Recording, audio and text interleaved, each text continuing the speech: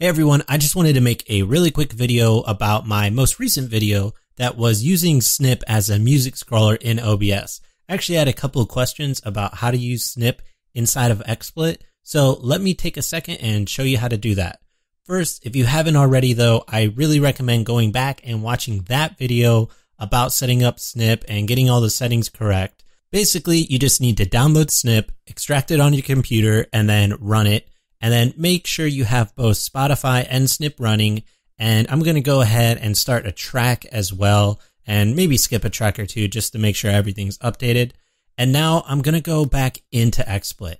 Once I'm in XSplit, I'm going to go ahead and click source, go to get more plugins from the plugin store. And now what I need to do is find the plugin called title Legacy and install that. After it's installed, I want to go to add, other, and then title, and it should say legacy since it's an older plugin, I believe. Now here you need to enable remote text update. You can now change the refresh interval to something a little bit quicker, maybe to like five seconds.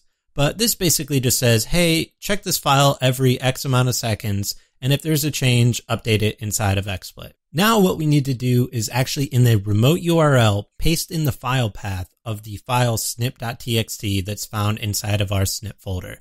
The easiest way that I found to find a file path is to just drag the file into your browser and then copy that file path URL that's in your little URL bar. And that's just a nice little way to get something really quickly that I use. Anyways, um, now you can go to enable scrolling. Uh, you can set it to slower or faster. And then you can also change the font here if you like. But once you're done, we can also go back into the settings and change the width to something that's a little wider, or you can actually keep it how it is if you like it there. And that's really all there is to it.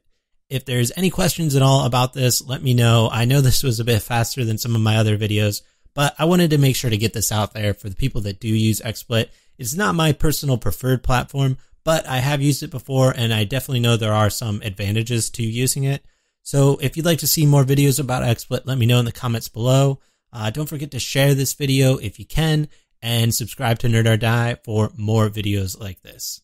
Thanks for watching.